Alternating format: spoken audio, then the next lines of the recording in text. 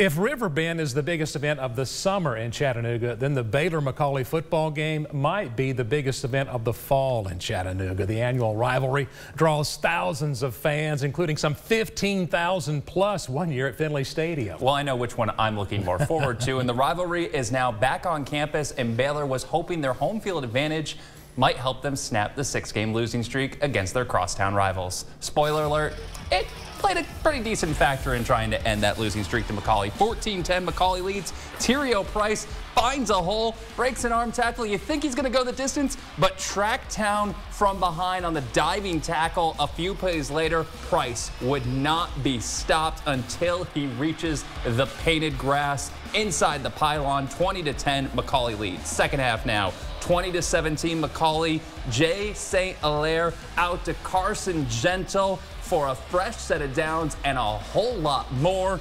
And that continuing on later in the drive, St. Hilaire, QB keeper for six. It's a 10-point ball game in favor of McCallie, 27 to 17. Fourth, now we head to a punt, and it looks like this might just keep the momentum going as Andre DeLeonis fields it on a hop down the sidelines and then goes flipping through the air, just like Andrew Harris when he finds that beautiful cardigan. But then everything would go awry.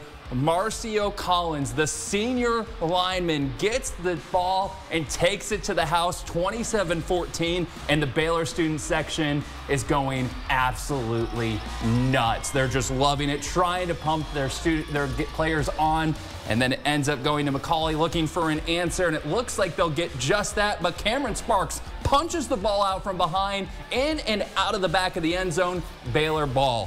Whit Muschamp to Amari Jefferson. He would cut inside, and he is gone. And all the Baylor sidelines is going to rush down with him.